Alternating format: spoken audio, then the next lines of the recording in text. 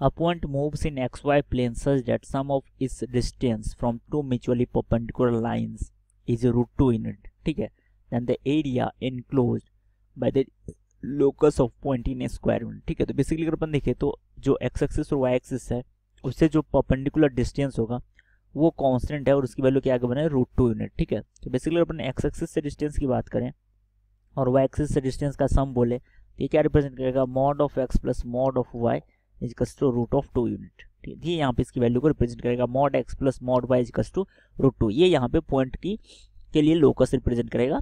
X axis Y axis अगर अपन देखें डिस्टेंस क्या ऑलवेज रूट टू यूनिट में तो ये अपने पास वैल्यू होगा। अपन यहाँ पे इसके लिए तीन कंडीशन ले सकते हैं, ठीक है?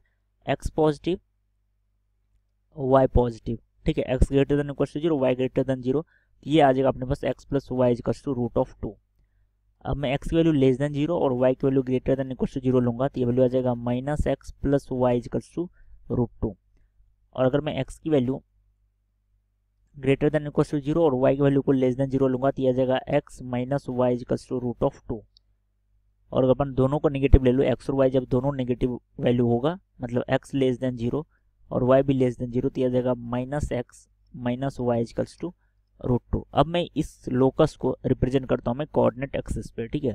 इस लोकस को मैं यहाँ पे कोऑर्डिनेट एक्सिस पे रिप्रेजेंट करता हूँ, ठीक है? तो कोऑर्डिनेट एक्सिस पे बेसिकली ये लोकस जो है, वो क्या है? एक लाइन को रिप्रेजेंट कर रहा है।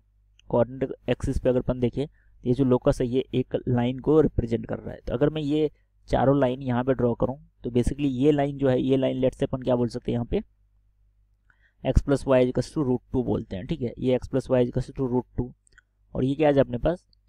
ये आ जाएगा Y equals to X plus root two ये आ जाएगा minus X plus Y equals root two और ये आ जाएगा अपने पास minus X minus of Y equals to root two और ये जो होगा ये लास्ट वाला इक्वेशन आ जाएगा। ये अपने पास इस फॉर्म में ये इक्वेशन आ जाएगा। ये पॉइंट पी ये पॉइंट क्यू ये पॉइंट आर और ये पॉइंट एस तो ये यहाँ पे इसके लोकस को रिप्रेजेंट करेगा। ये पॉइंट क्या होगा? ये पॉइंट होगा रूट टू कॉमा ज़ीरो और इसके कोऑर्डिनेट्स क्या होगा? यहाँ पे ज़ीरो कॉमा रूट टू और क्यू के कोऑर्डिनेट्स क्या होगा? Minus of root two comma zero और एस के कोऑर्डिनेट्स क्या होगा? Zero comma minus of root two अब अगर अपन देखिए तो ये क्या है? ओरिजिन है। तो बेसिकली अगर मैं टोटल एरिया अगर बात करूँ तो टोटल एरिया ऑफ़ अगर अपन देखें यहाँ पे पी क्यू आर एस ये क्या आ जाएगा?